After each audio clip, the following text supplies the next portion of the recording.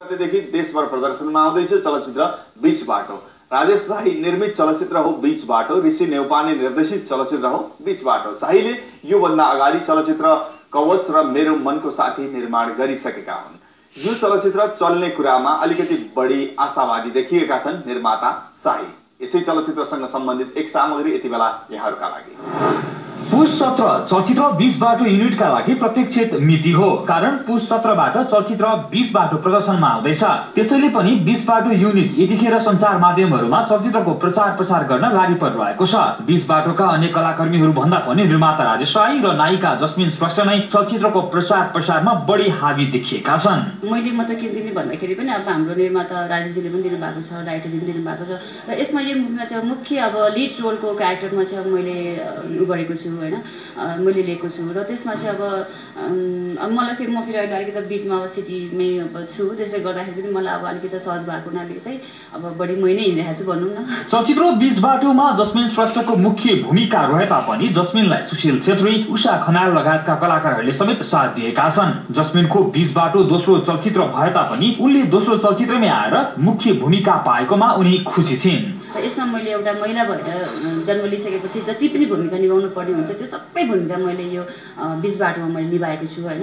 त्यसरी अब यो बिच बाटोमा एकदमै मलाई अब खुसी लागेको छ। चलचित्र बिच बाटोका दुईवटा गीतहरू यतिखेर चर्चित बनिरहेका छन्। रोमान्टिक गीत भन्दा पनि पप्पी देउना गीतले नै यतिखेर बजार पिटेको हामीले महसुस गरेका छौँ। तर चलचित्रकी नायिका जस्मिन श्रेष्ठलाई भने चलचित्रको रोमान्टिक गीत नै मन पर्दो रहेछ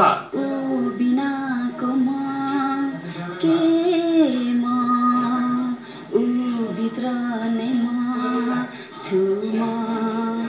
अब तिमी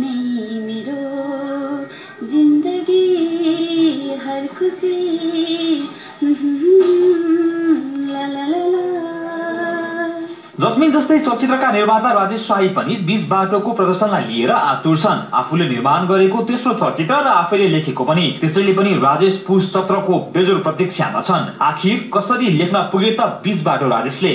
यो मैले खासै कन्सेप्ट हो मेरो। कन्सेप्ट अब बन्दै बन्दै गएपछि एउटा एउटा थिम जस्तै बनाएँ। यो धेरै अगाडि लेख्यो मेरो।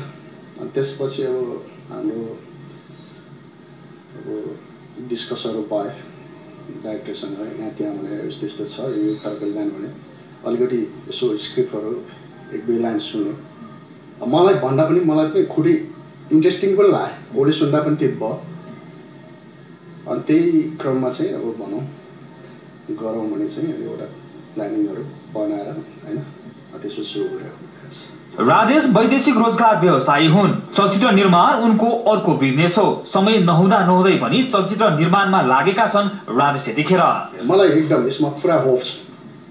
किन लागि पनि रहेछ होइन? अरू अब चाहिँ मेरो अब चाहिँ साथीभाइदेखि लिएर हर चिनजान इष्टमित्र सबलाई यताउता गर्छ भने सबले चाहिँ नाना राम्रो छ भने यसको फिडब्याक राम्रो आएको छ।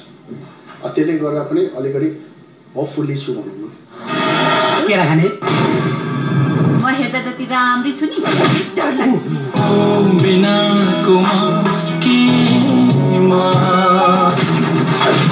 तँलाई यो घरमा बस्न अब एक मिनट पनि अधिकार छैन।